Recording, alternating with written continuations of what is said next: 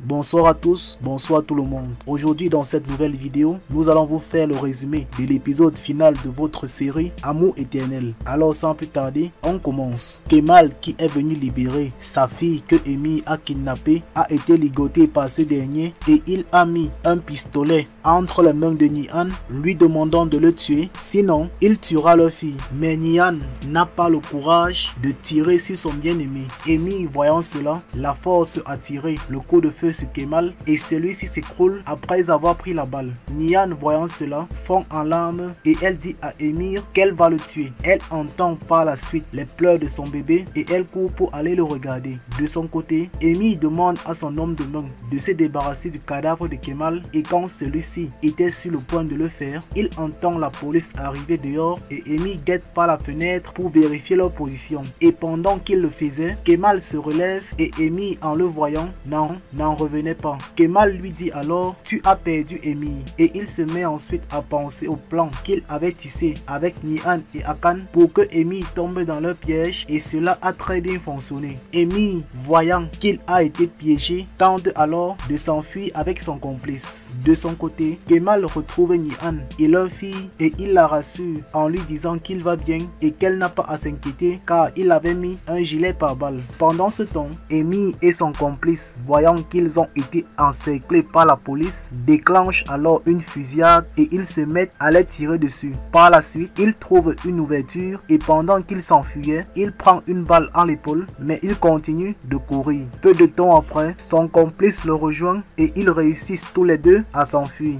De leur côté, Kemal et Nihan, qui ont appris que Amy et son complice ont réussi à s'enfuir, réfléchissent à l'endroit où ce dernier aurait très bien pu aller. Pendant ce temps, le complice l'a emmené dans sa vieille maison et il est en train de soigner sa blessure à l'épaule. Peu de temps après, Kemal et Nihan sont retournés à la maison et celui-ci, qui a sa fille près de lui, se met à penser aux différents moments qu'il a passés avec sa femme, notamment le jour de leur première rencontre et tous les autres événements qui ont suivi. Par la suite, il rejoint Nihan dans la chambre et ils se mettent à discuter par rapport à ce qui s'est passé dans la soirée avant de s'endormir.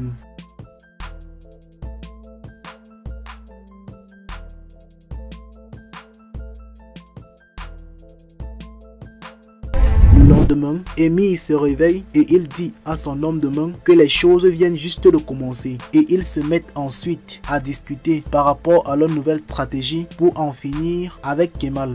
De son côté, Azou, qui est interné dans une clinique psychiatrique, tente de s'échapper avec l'aide d'un infirmier. Pendant ce temps, Kemal et Nian ont décidé de quitter le pays le temps que Amy et son complice puissent être mis aux arrêts. Et ceux-ci sont en train de dire au revoir à leurs proches. L'infirmier qui a aidé Azou à s'échapper l'a emmené chez lui pour qu'elle y reste pendant quelque temps sans connaître ses véritables intentions. Par la suite, elle récupère un objet métallique et elle assomme avec par surprise. Après avoir fait cela, elle s'en va. Dans la nuit, Amy s'est glissée directement dans la maison de Nian et celui-ci, en la voyant, lui demande de venir s'asseoir près de lui. Elle s'assoit alors près de lui et il lui dit j'ai une question à te poser et lui une chose à te demander. Et après avoir fait cela, je te promets de te laisser tranquille. Nian, entendant cela, lui demande alors ce qu'il veut. Il lui demande si elle aurait pu l'aimer si les circonstances avaient été différentes. Elle lui dit qu'il n'aurait pas du tout changé. Il réplique en disant j'aurais pu changer pour toi. Elle lui dit je t'ai toujours fui parce que tu es le genre de personne qui ne change pas. Après lui avoir dit cela, elle lui demande s'il va la laisser maintenant. Il lui dit tout d'abord, je veux que tu fasses quelque chose pour moi. Elle lui demande ce qu'il sait. Il lui dit, embrasse-moi. Embrasse-moi juste une fois et laisse-moi mourir. Nian, entendant cela, le prend alors dans ses bras. Par la suite, Amy saute et il se rend compte qu'il était en train de rêver, ce qui le met alors dans une grande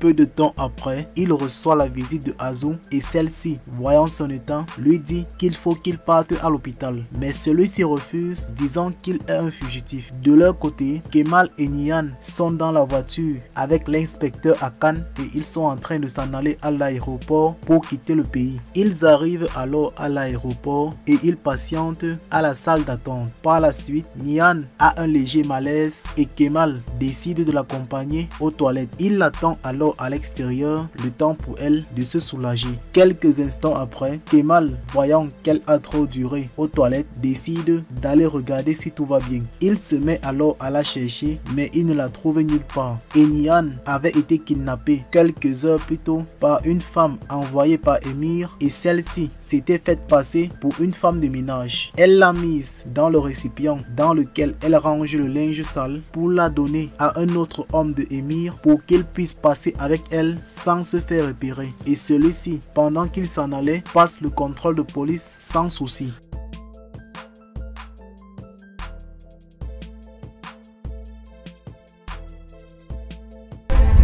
Kemal, qui a repéré la femme de ménage qui a kidnappé Nian, se met à lui courir après. Il finit alors par la rattraper et il lui demande où est sa femme. La femme de ménage lui dit qu'elle n'en sait rien. Il réplique en disant qu'il la tuera si elle ne lui dit pas où se trouve sa femme. La femme de ménage entendant cela lui dit qu'elle a été emmenée dans une camionnette du service de nettoyage. Kemal entendant cela n'en revient pas. Peu de temps après, il se met à regarder les enregistrements vidéo en compagnie de Akan et Kemal, après réflexion, dit à Il y a sûrement quelqu'un de ton équipe qui travaille pour Emi et c'est cette personne qui lui a donné notre position. De son côté, Emi, qui a eu la confirmation que son opération a été un succès, brûle d'impatience de revoir Nian. Il voit ensuite son homme de main arriver avec elle et celle-ci était inconsciente. Emi lui prend la main et il lui dit Bienvenue mon épouse. Après avoir dit cela, il, il se lève et s'en va se soigner, la laissant sous la garde de Azo.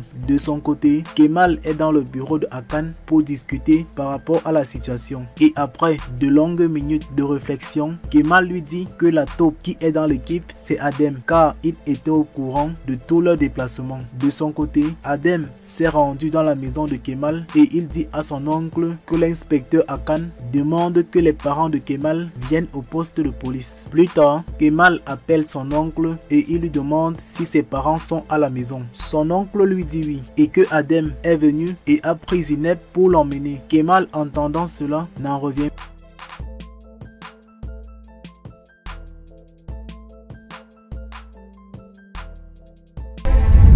Nian, qui était inconsciente, s'est réveillée et elle demande à Azou de la libérer car elle veut aller aux toilettes. Mais Azou refuse. De son côté, Kemal donne une conférence de presse pour que tout le monde soit au courant de ce que Emi a fait à sa femme. De son côté, Nian tente de mettre Azou en colère en lui parlant des bons moments qu'elle a passés avec Kemal. Et quand Azou voulait la faire avaler la clé par force, Nian lui donne un bon coup de poing qu'un bon coup de pied, ce qui immobilise Azou. Nian en profite alors pour se détacher et elle tente de s'échapper. Pendant ce temps, Amy, qui est en train de se rendre à l'hôpital pour se soigner, s'écroule à l'entrée et les médecins accourent pour le secourir. Ils l'emmènent alors à l'intérieur et se mettent à le soigner. De son côté, Nian, voyant que toutes les issues de l'entrepôt dans lequel elle a été enfermée sont bloquées, elle se met à crier à l'aide mais personne ne l'entend.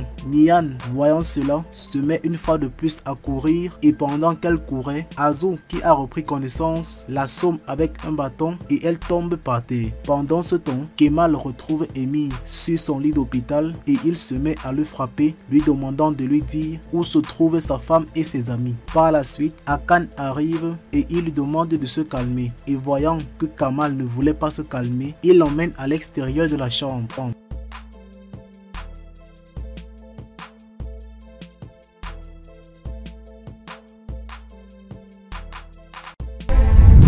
L'homme de main de Amy a récupéré Nian et il est en train de l'emmener autre part. De son côté, Kemal qui a fini par se calmer discute de nouveau avec Emir et il lui demande où est sa femme. Emir lui dit j'ai une offre à te faire. Il lui dit tes amis et ta femme sont en vie mais leur temps est compté. Si tu veux les sauver, tu dois m'aider à m'échapper d'ici. Tu dois faire un choix, ma liberté contre la vie de ta femme et celle de tes amis. Kemal entendant cela réfléchit alors à ce qu'il doit faire. Il sort un instant de la chambre de Emir et trouve Akan à l'extérieur. Par la suite, il voit sa sœur Zinette arriver et il lui demande de rentrer. Elle lui dit qu'elle peut peut-être trouver où Emir retient ses amis. Au même moment, Akan les rejoint et elle leur dit Permettez-moi s'il vous plaît de libérer ce que j'ai sur le cœur. Laissez-moi lui agresser ces derniers mots. Akan, entendant cela, la laisse alors parler à Amy. Arrivée dans la chambre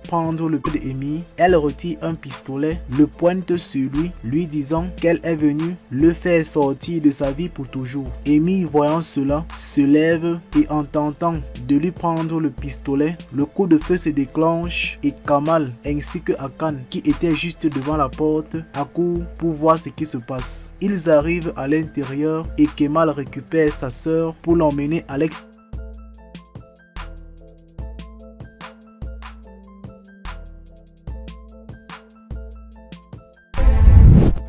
Son rétablissement, Amy a conduit la police à l'endroit où il retient les amis de Kemal. Akan et son équipier entrent dans une vieille maison et ils trouvent une personne vivante. Amy regarde alors Kemal et il se met à penser au moment où ils avaient tous les deux tissé ce plan selon lequel Kemal devait l'aider à s'échapper en échange de la vie de ses amis et celle de sa femme. Kemal, pour suivre le plan, tend un pistolet sur Emir, ce qui emmène tous les policiers à braquer les sur lui. Au même moment, Akan arrive et Kemal lui demande de dire à ses hommes de baisser leurs armes. Et il décide ensuite d'emmener Emi avec lui, sachant qu'il a également tissé un autre plan avec Akan. Peu de temps après, Akan entre dans la voiture avec son équipier et ils se mettent à les suivre à l'aide du GPS. À un niveau, Kemal descend du véhicule et l'homme de main de Emi le débarrasse de son portable et de son pistolet pour que la police les repérer. Ils montent ensuite dans une autre voiture et ils s'en vont. Peu de temps après, ils arrivent à un endroit reculé et Amy lui donne des indices concernant l'endroit où Nian se retrouve. Il lui dit ensuite Tu n'as que 20 minutes pour la sauver. Kemal, entendant cela, se met alors à la chercher et celle-ci était assise sur un rocher et il y a une bombe près d'elle prête à exploser. Par la suite, Kemal la voit et il se met à courir pour la secourir probably Nian, en le voyant, lui demande de ne plus s'approcher car Emir a implanté des mines partout dans le sol. Kemal, entendant cela, se met à regarder aux alentours de lui pour vérifier. Après avoir fait cela, il lui demande de fermer les yeux et Nian les ferme. Dans la foi, il se met alors à s'avancer tout doucement vers elle et à un moment donné, il pose son pied sur une mine, ce qui ruine tous ses espoirs. Quand ils étaient en train de se dire adieu, Dieu, Arrive par le haut et Kemal, en le voyant, lui dit ton pouvoir n'est pas assez grand pour nous séparer. Amy réplique en disant C'est ce qu'on va voir. Il s'avance ensuite vers Nian et il désamorce la bombe. Après avoir désamorcé la bombe, il se met à la détacher et il arrête sa main pour s'en aller avec elle. Mais Nian se met à s'enfuir et Emir lui court alors après. Pendant qu'il courait, il piétine à son tour une autre mine et ce dernier voyant appelle son homme de main pour qu'il vienne l'aider. Mais celui-ci refuse. Kemal, voyant cela, demande à Amy de donner le téléphone à Nian et de lui dire comment sortir de là. Amy donne alors le téléphone à Nian et il lui donne ensuite des indications concernant la manière dont elle va marcher pour sortir de ce champ de mine. Et Nian, qui a réussi à s'en sortir, court pour aller alerter la police.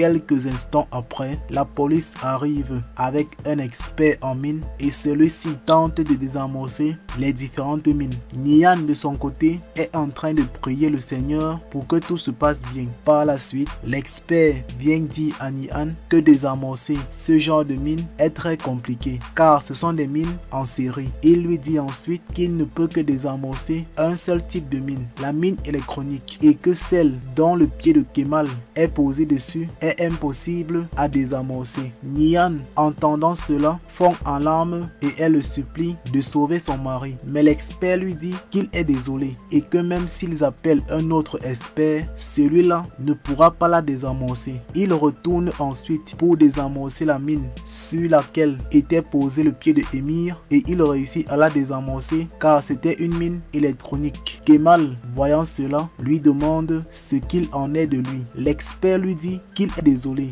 que désamorcer ce type de mine est impossible. De son côté, Emir, en s'en allant, se met à se moquer de Kemal et celui-ci, ne pouvant pas supporter cela, l'arrête par le bras pour l'empêcher de s'en aller. Il lui dit, je vais protéger ma femme et mon enfant de toi pour toute l'éternité. De son côté, Nihan demande à Kemal de ne pas faire cela car Akan va appeler d'autres experts pour le sauver. Mais Akan lui dit qu'il n'y a plus rien à faire et qu'ils Kemal demande à Nihan de s'en aller avec Akan mais celle-ci tout en pleurs refuse lui disant qu'elle ne peut pas vivre sans lui. Akan décide alors de l'emmener à la demande de Kemal. Kemal, voyant que sa femme est alors en sécurité, retire son pied de la mine et celui-ci explose avec Emi. Nian, voyant cela, était alors déboussolée. Quelques mois après, elle se met à lire la lettre que Kemal lui a laissée tout en pleurant. Et sa fille, qui est déjà un peu grande, se met à essuyer ses larmes. Et c'est sur cette scène que se termine l'épisode final de votre série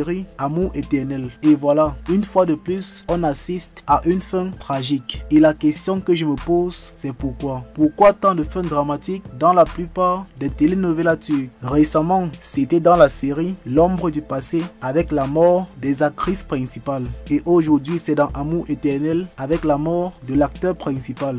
Mais il faut avouer que c'est bien d'une part, car cela nous rapproche de la réalité de la vie. Comme pour dire, la vie n'est pas toujours rose. Nous disons à très bientôt pour de nouvelles